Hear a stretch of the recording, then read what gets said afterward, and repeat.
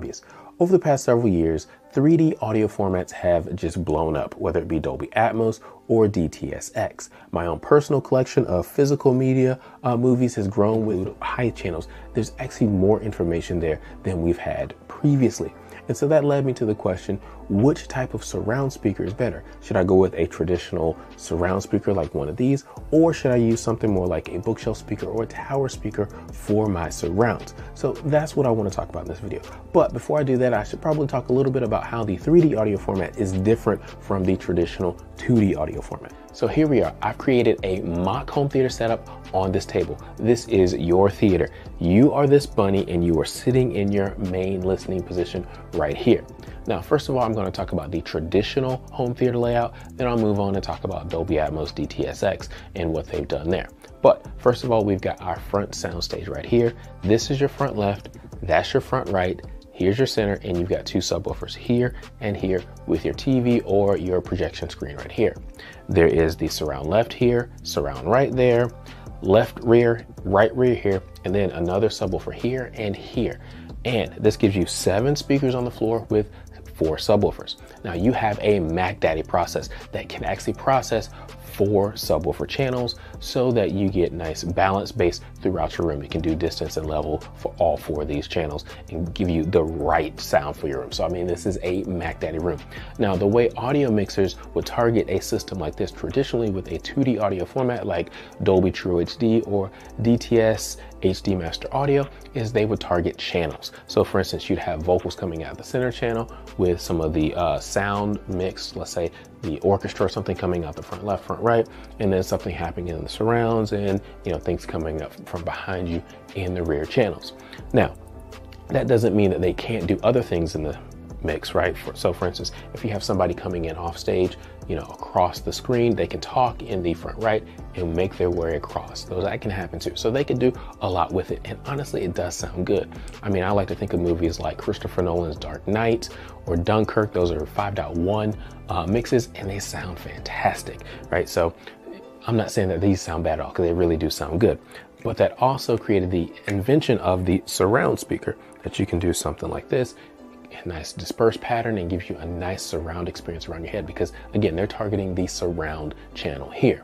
But a few years ago, Dolby came out with the 3D audio format. They called it Dolby Atmos, and DTS followed up uh, a few years later with their 3D audio format known as DTS:X. Now, a lot of people think of the speakers that they included, which are height speakers. So you can put speakers in your ceiling, or you can do uh, speakers that mount um, that bounce off the ceiling. But for this example, you got a Mac Daddy room, they're in the ceiling.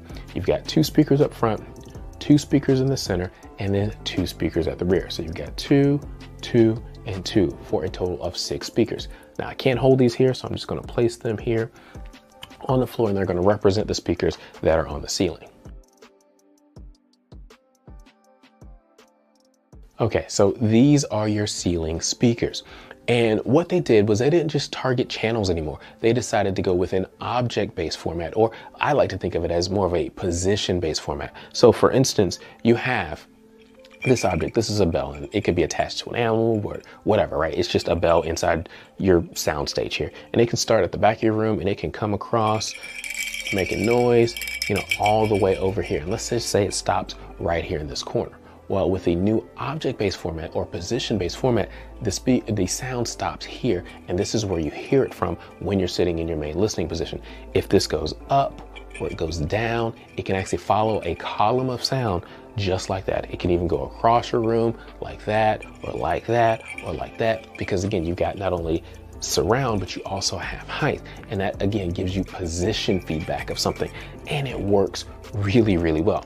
So obviously now I need to test Dolby Atmos in DTS:X movies to figure out which ones really kind of mess around with the position and maybe even give you a phantom speaker sound, one that works really well. So I tried a lot of different movies, including A Quiet Place, 1917, uh, Blade Runner 2049, Moonfall, and several others. But one movie that I found that works really well, especially with that phantom speaker sound, is this movie right here, No Time to Die, the latest James Bond movie. There's a scene in here, and I don't want to get into too many spoilers, but there's a scene early in the movie that I'm going to talk about in a minute.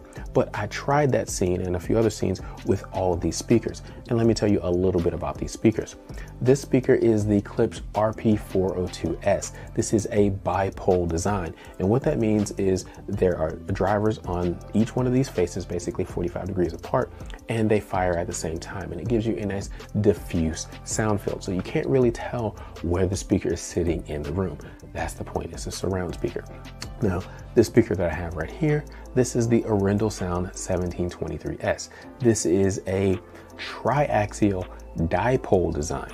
Um, and so triaxial because you have two drivers here on the front face, and then you have two drivers here on these sides that are firing outward like this and it's dipole because these two drivers fire at different times like that. Like one will be firing and the other is not and then they'll kind of do that. So this gives you a pretty diffuse soundstage but since you've got a driver here on this front face it is got a little bit of directionality to it. You can kind of tell where this speaker is sitting inside your theater now this speaker, this is the Klipsch RP150M. This is a traditional bookshelf speaker, direct radiating. So all the sound is coming directly at you when it's sitting here. When you're sitting in your theater, you're gonna kind of know where the speaker is because it's literally firing right at you. So you can really kind of place it in the sound. So that's all of the speakers. Now let's talk about this movie.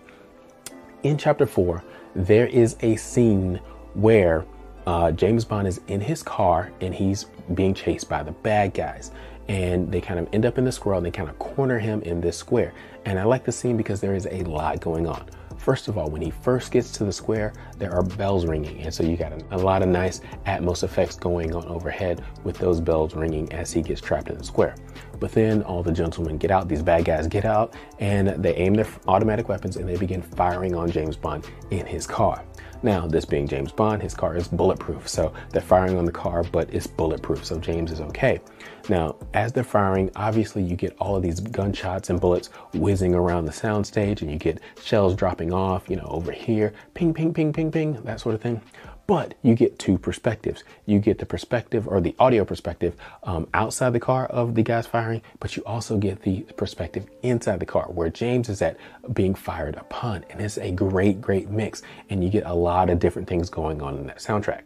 Now, once they stop firing, one more bad guy gets out of the car and he begins firing on the passenger side window. Thump, thump, thump, thump, thump.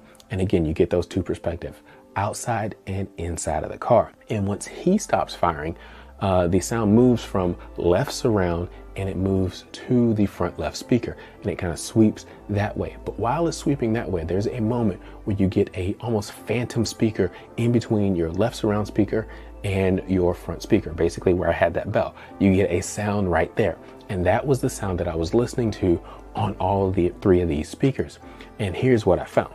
First of all, with this speaker, you could tell that you moved from left speaker to the front soundstage, but it was a bit more diffuse. You, you could hear the phantom speaker that was supposed to be there, but it wasn't quite there. Now, once I moved to the 1723S, you got even more, you know, of that speaker being there. You still had a diffuse sound, but you got even more of that phantom speaker being in between the surround left and the front left. And you basically could call that speaker a front wide left if you want. But once I moved over to the RP150M, it got even more direct. You went from left surround to phantom to uh, front left speaker. So it really, really worked here. Whereas with these other two speakers, it was just a bit more diffuse. Now, like I said, I also tried a quiet place. And there's a scene, I think it's chapter five, when a pregnant mother is checking her baby's heartbeat. She's got a nice little stethoscope and she puts that on her belly and she starts listening to the heartbeat. And that heartbeat starts in the center channel and it radiates out into the room. And it kind of finally finishes off in that left surround speaker. And again, with the RP402S, it was diffused from that left surround and then once you move over to the 1723S, because it's got that direct radiator, it's still diffused, but you can kind of tell where it is. And then again, once you move to the traditional bookshelf speaker, you can really hear that it's coming from the left surround speaker. So I think of these as good, better, and best, with the direct radiating speaker being the best for your 3D audio formats and a surround speaker. I tried both this speaker and a Q Acoustics uh, 3010i, which is a slightly different type of bookshelf speaker. It's a little bit smaller than this one, just to make sure I could still get that positional effect, and it still worked as I expected it to. So that's good.